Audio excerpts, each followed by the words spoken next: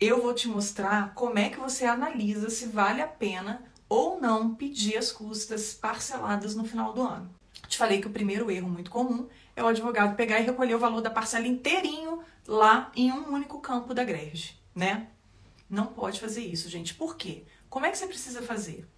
Vamos supor que você está entrando com uma ação de despejo, tá? Aí você foi lá, você viu o modelinho na corregedoria da ação do despejo, você já fez o cálculo todo certinho, você viu como é que vai ser essa greve. Gera essa greve só para você ter direitinho lá quais são os campos, tá?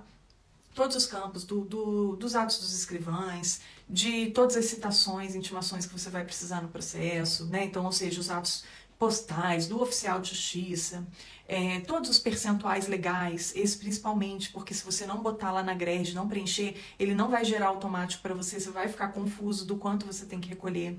A taxa judiciária, não esquece do campo diversos, todo mundo esquece do diversos, gente, é, e, e fica sendo intimado para complementar por causa de uma bobeira, não esquece disso.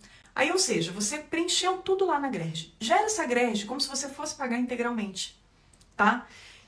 Na hora que você gera essa grade, como se você fosse pagar integralmente, você tem lá todos os valores. Daphne, não tem problema de eu gerar uma grade e não pagar? Não, não tem problema. Você pode simplesmente só gerar a grade para você ter essa grade. Você pode até juntar essa grade no processo, se for o caso, para você ter ali como, como um gabarito, entendeu?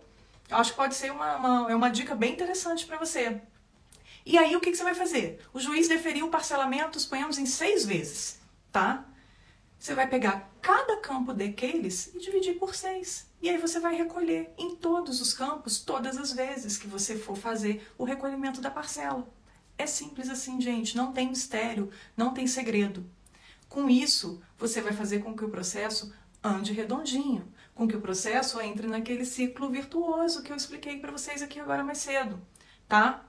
Você vai fazer com que você não seja intimado desnecessariamente para complementação, para correção. Isso é muito importante, é muito importante para o bom andamento processual tá, das suas ações.